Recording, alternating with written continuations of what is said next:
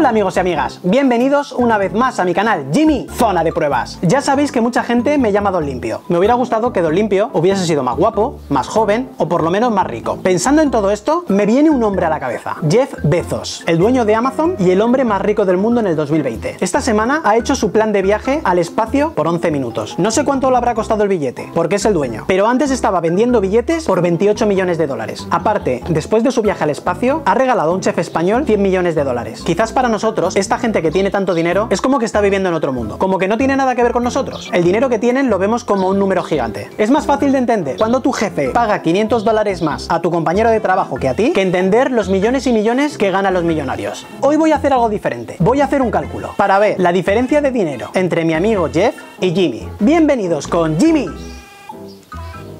Matemático. ¿Cómo puedo ganar tanto dinero como Jeff Bezos? La primera idea que me viene a la cabeza es la lotería. Por ejemplo, el euromillón. Vamos a poner como premio fijo 17 millones de euros, porque si todas las semanas me toca el primer premio, no acumula para el siguiente. Sería la mínima cantidad que son 17 millones de euros. ¿Sabes lo que significan 17 millones de euros? Que trabajando desde los 18 años hasta los 78 años, cobrando 2.000 euros limpios al mes, solo ganarías 1.440.000 euros. Es decir, que aun cobrando 20.000 euros todos los meses durante 60 años, todavía te queda darían 2.600.000 euros para llegar a 17 millones de euros. Vamos a ver lo que tiene Jeff Bezos. Jeff Bezos tiene 190.500 millones de dólares, que son aproximadamente 161.524.950.000 euros. Si dividimos este número por 17 millones de euros, me tiene que tocar 9.500 una vez. Si la lotería se juega una vez a la semana, me tienen que tocar 9.500 unas semanas, que son 182 años. Entonces me tengo que pasar la vida ganando la lotería. Y aún así, le tengo que pasar mi hipergenio durante 3-4 generaciones. Ahora vamos a calcular otra cosa. ¿Qué probabilidad hay de que yo pueda tener el mismo dinero que Jeff Bezos? Os voy a contar una teoría para calcular las probabilidades muy pequeñas. La teoría se llama el mono infinito. Vamos a imaginarnos a un mono enfrente de un teclado. El mono está súper ilusionado, nunca ha visto un teclado. Está contento, feliz y se pone a toquetear el teclado sin saber lo que está tocando, ni siquiera lo que significa una letra. El mono no entiende lo que está haciendo, él solamente está tocando el teclado. El teclado solo tiene 26 letras, no tiene ni puntos, ni comas, ni nada. Ahora hablamos a nivel matemático. ¿Qué probabilidad hay de que el mono toque la letra J? J de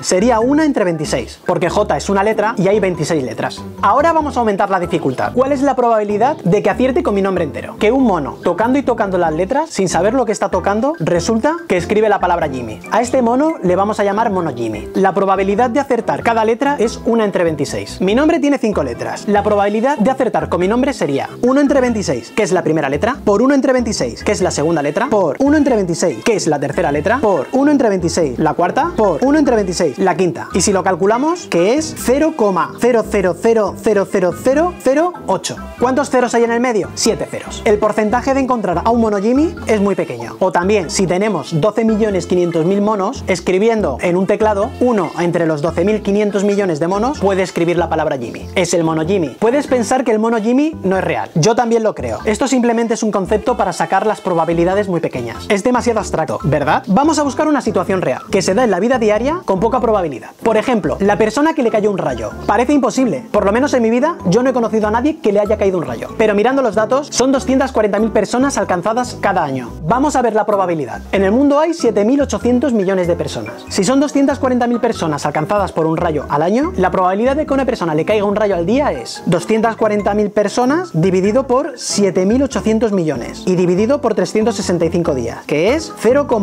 0,0000008. En el medio son 7 ceros. Este número es igual que el mono Jimmy. Es decir, que si hoy salgo a la calle y me cae un rayo encima, esta probabilidad es la misma que si me encuentro un mono y es un mono Jimmy.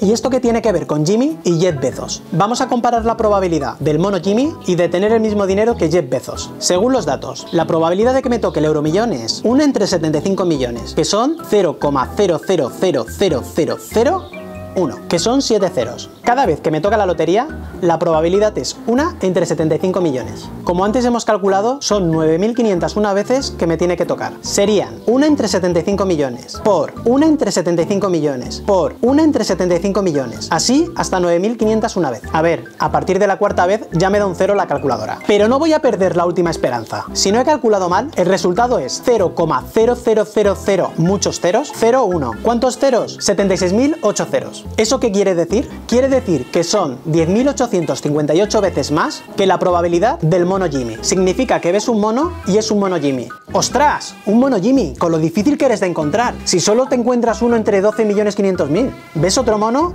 y ¡ostras! Otro mono Jimmy y ves otro mono y también es otro mono Jimmy. Así tienes que encontrar a 10.858 monos, todos son monos Jimmy. O hablo con una persona y me dice que le ha caído un rayo. Hablo con otra persona y también me dice que le ha caído un rayo. Pero es que hablo con otra persona y también me dice que le ha caído un rayo. Y así hablas con 10.851 personas, todos les ha caído un rayo. O Jimmy, hiper desafortunado, sale a la calle hoy y le cae un rayo. Sale a la calle mañana y le cae otro rayo. Sale a la calle pasado mañana y otra vez le cae un rayo. Así durante 10.858 días, que son casi 30 años. Todos los días cuando sale a la calle le cae un rayo. Así es la misma probabilidad de que Jimmy pueda tener el mismo dinero que Jeff Bezos.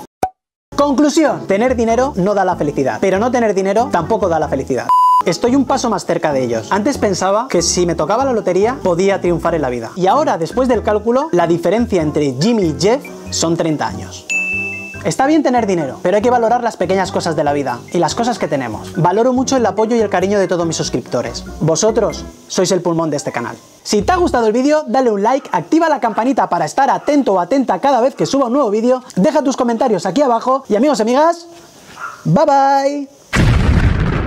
Como siempre, quiero dar las gracias a todos mis suscriptores. En esta ocasión quiero saludar a SK Romax, a Jared, a Juan Agüe, a Samuel21, a Samir Salman, a Facu Ferreira, a Danfer Randolph Ver, a Sinalino Osvaldo, a El Cine de Aberkin, a David Zarza y a Gerardo Hernández.